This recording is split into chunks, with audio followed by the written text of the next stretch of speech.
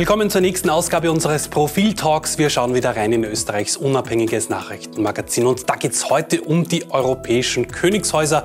Ganz groß drin im neuen Magazin. Dazu bei mir Profiljournalist Sebastian Hofer und Profilherausgeber Christian Reiner.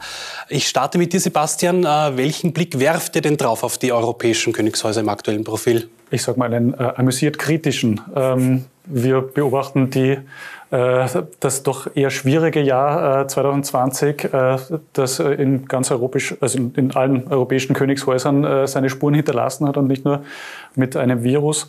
Ähm, zuletzt in, in, Spanien ist der alte König äh, mehr oder weniger geflüchtet vor der, vor der Justiz. Äh, in Großbritannien gibt es Schwierigkeiten mit dem Prince Andrew, aber auch äh, Harry und Meghan, die gesagt haben, sie, sie wollen das nicht mehr und freiwillig ausgeschieden sind sozusagen. Ähm, und so weiter und so weiter. Es gibt mehrere äh, Schauplätze und äh, insgesamt verfestigt sich äh, so die, die Ansicht, dass äh, sich europäische Königshäuser so ein bisschen selbst abschaffen im, mhm. im Laufe der Jahre. Führt mich gleich einmal zur wichtigsten Frage, wer braucht heutzutage eigentlich noch eine Monarchie, Christian? Niemand würde ich sagen, aber ich habe ja das Gefühl, dass ich hier der Einzige im Studio bin, der nicht nur amüsiert kritisch gegenüber Monarchien und Königshäusern dasteht, sondern das Ganze insgesamt nicht versteht. Ganz offensichtlich auch nach Lektüre, Vorablektüre dieses großartigen Textes, den der Sebastian Hofer im Übrigen gemeinsam mit unserer Fotochefin Alexandra Unger verfasst hat. Trotz dieses großartigen Textes äh, finde ich ja noch immer wie kann das sein, dass es, dass es, dass es demokratisch legitimierte, falsch nicht legitimierte, sondern Monarchien gibt mit daneben einer funktionierenden Demokratie?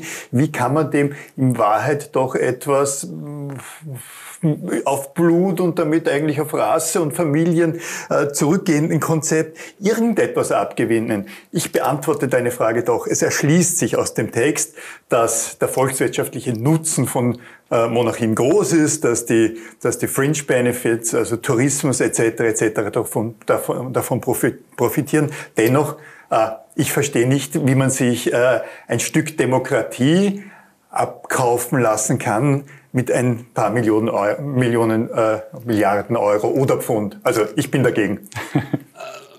Du bist eher dafür oder, oder, oder neutral gegenüber, Sebastian? Ich bin relativ neutral, würde ich mal sagen. Mhm. Ich schaue mir das auch ganz gern an in der, in der Gala und in der Bunten mhm. und im Profil.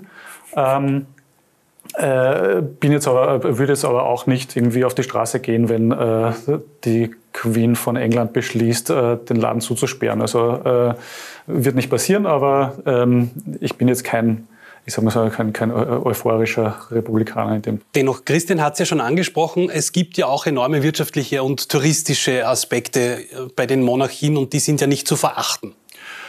Wird, man kann das ganz nüchtern einfach sich ausrechnen. Ne? Also am Beispiel England, äh, die bekommen äh, für die Erhaltung der Immobilien und für äh, ihre Lebensführung äh, zuletzt waren es glaube ich 85 Millionen Pfund pro Jahr. Im Gegenzug äh, gibt es aber aus den Einnahmen, die diese Liegenschaften und so weiter generieren, äh, über 350 Millionen Pfund an den Staat. Also das ist schon mal ein, ein, eine positive Bilanz. Dazu gibt es die äh, unwahrscheinlichen äh, touristischen Benefits, von denen wir gesprochen haben, also die, glaube ich, bis zu zwei Milliarden Dollar, äh, Pfund umfassen äh, sollen, laut äh, Schätzungen. Ähm, insofern, und dann gibt es natürlich auch ein großartiges Schauspiel. Ne? Also man, äh, Prince, Prince, Prince Andrew im BBC-Interview ist ein Dokument für die Ewigkeit. Ne? Aber meine These dazu ist ja, abgesehen davon, dass kein Geld der Welt mir diese, die, die, die Demokratie abkaufen lassen kann. Aber fragen wir die Japaner, fragen wir die Chinesen, fragen wir die Amerikaner, ist Österreich eine Monarchie? Ich würde jetzt eine Wette eingehen, dass, dass eine, eine, eine absolute Mehrheit meinte, dass der Kaiser noch immer in der Hofburg residiert, dass er im Bad Ischl den Sommer verbringt und äh, dass der Bundespräsident irgend sowas wie, wie der, der, der, der Hofnarr des Kaisers ist. Das heißt, der Tourismus funktioniert ja ohnehin. Wir haben die, die, die Kaiservilla in Bad Ischl und die Umzüge, wir haben die Hofburg, wir haben Schönbrunn. Dazu braucht es ja keine wirklich existente äh, Monarchie. Das kann ja auch die Vergangenheit sein. Also du würdest den Kaiser davonjagen aus dem Schloss Schönbrunn? Ich würde den Kaiser lebendig einbalsamieren, vermutlich. So weit wollen wir vielleicht nicht gehen. Ähm, äh, Meghan und Harry, jetzt äh, zuletzt der Skandal in Spanien. Spanien äh, steht ja vor der völligen Demontage. Die Briten stehen dann doch eher noch hinter dem Königshaus. Wie wird es denn weitergehen mit den Monarchien? Die werden das aussitzen. Also äh, Großbritannien äh, hat eine große Tradition im, äh, im Überwinden von Krisen. Ne? Äh, da gab es ja auch schon äh, diverse angeheiratete äh, Prinzessinnen, die äh, Scherereien gemacht haben. Hat man auch ganz gut, ganz gut drüber, sich drüber gerettet. in Spanien könnte es natürlich schon nochmal äh, scheppern, sollte der äh, alte König, wie er gesagt hat, er stellt sich der Justiz sozusagen zur Verfügung, äh, soll es da zu einem Prozess oder gar zu einer Verurteilung kommen, ähm, könnte natürlich schon die republikanischen Kräfte Oberwasser kriegen. Ist Spanien noch zu retten? Ja, ich glaube schon, also nach, nach, nach, Lektüre, nach Lektüre des Textes ist es eigentlich so, dass ich es für möglich halte, dass Parlament in Spanien abgeschafft wird und die zurückkehren zu einer absolutistischen Monarchie, so wie das Land derzeit auseinanderfällt in je, jeder Hinsicht. Also die, die, sind nicht nur zu retten, sondern möglicherweise wird der Felipe dann, nein, also das, das hält an. Ich muss jetzt am Schluss doch noch, oder noch nicht am Schluss, doch noch ein Geständnis machen. Es gibt eine Serie auf Netflix, auf die ich reingekippt bin wie auf keine andere in den vergangenen zehn Jahren und das war The Crown. Und da geht's großartig. Da, da geht's, ah, da kennt auch jemand. ja. Also ich bin richtig reingekippt. Es ist, es ist großartig geschrieben von Peter Morgan, der im Übrigen mit einer mit österreichischer Hocharistokratie verheiratet war und Kinder hat. Äh, und es ist, es ist sehr nahe an der, an der, an der, an der historischen Wahrheit. Also irgendwo schlummert es dann doch wieder in uns allen. Wie sehen sich denn die Königshäuser selbst in welcher Rolle? Ähm, als, also das Sendungsbewusstsein ist tendenziell schon relativ groß. Äh, man sieht sich als äh, äh, zu hohem geborenem Diener des Volkes, äh, wobei... Schon noch immer so konservativ? Äh, naja, doch, ja. Also mhm. Das Business bringt es mit sich sozusagen mhm. und die, äh, also man kann ja auch äh, sozusagen in Österreich mit ehemaligen niederen Adel äh, sich unterhalten und äh, wird immer noch sehr viel Selbstbewusstsein irgendwie entgegengebracht bekommen. Ähm, bei regierenden oder bei amtierenden äh, Königshäusern ist es natürlich noch mal ein Stück stärker. Ähm, gleichzeitig wissen die, also sind ja nicht blöd, ne? sie wissen schon um ihr Standing, äh, dass sie äh, jetzt auch nicht sich alles leisten können sozusagen. Weswegen zum Beispiel auch die Queen äh, in England möglicherweise äh, ganz einverstanden war mit dem Abschied von Harry und Meghan, die mhm. ja auch sozusagen mit den, mit den Steuergeldern nicht immer ganz sparsam umgegangen sind in den letzten Jahren. Mhm. Ähm, also Dennoch wirft sie da ja einen kritischen Blick drauf auf die beiden, weil jetzt hat sich Meghan geäußert äh, zum Präsidentschaftswahlkampf in den USA. Das sieht ja die Queen auch nicht gern, oder?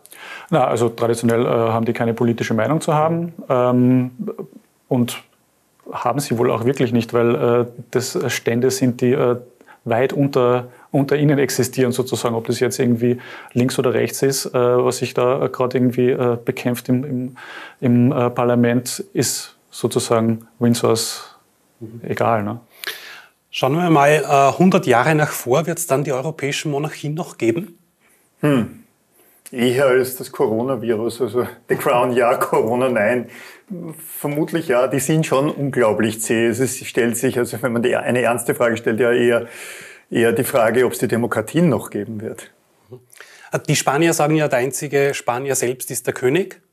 Sonst sieht sich ja keiner ja, wirklich als Spanier. Der, also wie, wie spanisch der ist, äh, schließt sich auch aus dem Text, weil ich daraus gelernt habe oder mich erinnern konnte, dass ein Gutteil dieser Königshäuser nicht nur miteinander verwandt sind und da viel Inzucht betrieben wurde, sondern mit der, mit der Geografie des Landes, in dem sie gerade herrschen, relativ wenig zu tun haben. Also, mhm. Und sehr oft auch die Sprache nicht sprachen, obwohl sie dann die, die Monarchen waren. Mhm. Ähm, wenn wir jetzt auf England schauen, wer wird der zukünftige König werden? Wird es da vielleicht äh, ein Auslassen von, von Charles geben und gleich zu, zu Prinz William hin oder also ist das nicht vorgesehen? Die Experten, mit denen ich jetzt gesprochen habe, äh, sind da, wollen sich jetzt nicht festlegen. Also es ist beides möglich. Mhm.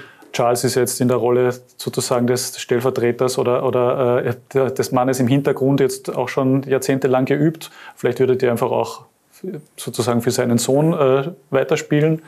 Ähm, andererseits ist es genauso möglich, dass, dass er sozusagen, sollte, sollte seine Mutter sterben, ähm, das, das Zepter übernimmt und äh, von sich aus sozusagen eine Modernisierung oder einen Generationswechsel einleitet, wobei eben dieser Generationswechsel glaubhafter wäre.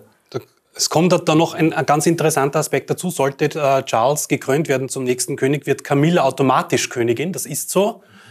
Ist das überhaupt denkbar? Eine Königin Camilla in äh, England? Alliteriert immerhin, aber offensichtlich ist es möglich. Äh, komplexer wäre es gewesen, wäre Diana nicht leider damals diesem Autounfall zum, zum Opfer gefallen. Da, da gäbe es dann eine Königin und eine, Schatten, und eine, eine, eine Schattenkönigin sozusagen. Aber offensichtlich ist das möglich. Also in der Hinsicht haben die Königshäuser ja ziemlich vieler gesellschaftspolitischer Liberalität inzwischen gewonnen. Also Liberalität nicht nur in der Interpretation des Strafgesetzbuches, siehe Spanien zum Beispiel, sondern auch in der Hinsicht, was jetzt, wer jetzt wen heiraten darf. Also auch die, die, die, die, die Ehe mit Megan wäre ja voll vollkommen unmöglich gewesen. Das wäre nicht nur unter dem Stand gewesen, sondern kein Stand.